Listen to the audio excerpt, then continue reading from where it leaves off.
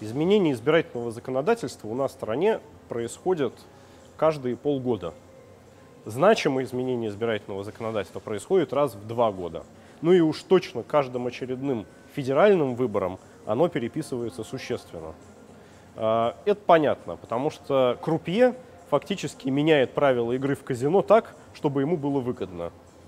Было выгодно отменить одномандатные выборы, чтобы побеждала Единая Россия, отменили.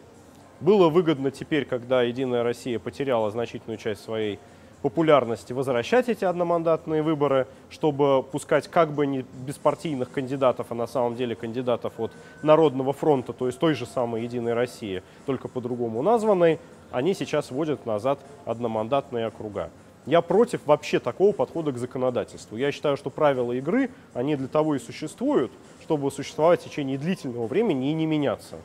Для того, чтобы к ним можно было привыкнуть и начать их использовать, на них полагаться. А если каждый раз правящая партия будет менять все под себя, ну, это, я считаю, профанация и приведет только к тому, что люди вместо того, чтобы участвовать в выборах, возьмутся за винтовки, за бомбы, за вилы и выгонят их к чертовой матери.